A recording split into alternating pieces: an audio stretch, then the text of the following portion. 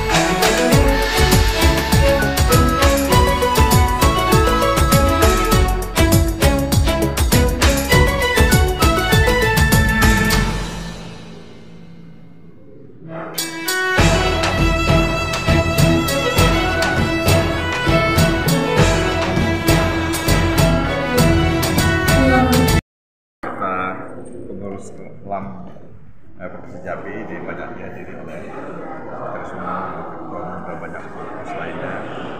Alhamdulillah hari ini kami bisa melantik pengurus kelam Melayu, lembaga adat Melayu Provinsi Jambi Kabupaten Kerinci. Alhamdulillah.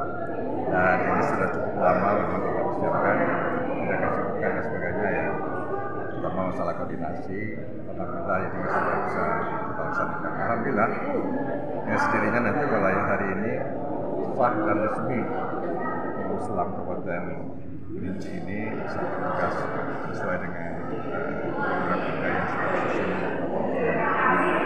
sesuai itu eh, kita menambah lagi ada satu kabupaten yang sudah resmi kita lantik ada satu kabupaten lagi yang belum eh, di kabupaten yang akan datang itu ya kita syukuri hari ini. Saya didamping oleh ketua LAM kita lembaga adat Melayu Kabupaten Kerinci. Itu pertama mengharapkan kepada seluruh uh, para elit politik terutamanya kepala daerah untuk mengajak para dipati-dipati jati ini untuk bekerja sama.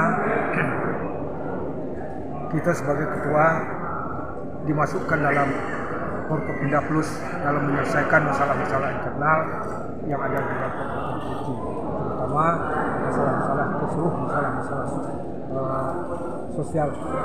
Assalamualaikum warahmatullahi wabarakatuh. Perkenalkan dulu saya Haji Salman. Saya diundang dalam acara hari ini sebagai kapasitas saya sebagai ketua HKK Kota Jambi putra daerah Kerinci yang berada di Prambanan. Dalam hal ini saya sangat mengapresiasi dengan adanya pelantikan Lam Kabupaten Kerinci di mana sesuai yang disampaikan seperti Pak Kesbang Pol tadi memang adat di Kerinci ini sudah banyak terpecah. Harapan kita dengan adanya pelantikan ini adat-adat yang istilahnya persiapan itu bisa kita lakukan kembali.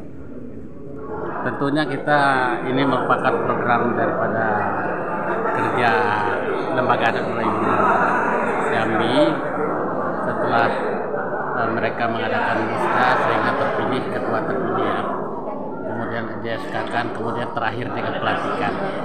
Nah, ke depan kita berharap dengan telah dilantiknya ketua dalam provinsi serta jajaran pengurusnya agar adat ini betul-betul difungsikan. Adat ini menjadi bisa ditegakkan dan bisa menyelesaikan semua masalah-masalah yang sifatnya publik diselesaikan secara adat. Kecuali masalah-masalah yang sifatnya hukum, narkoba misalnya apa-apa itu ya silakan.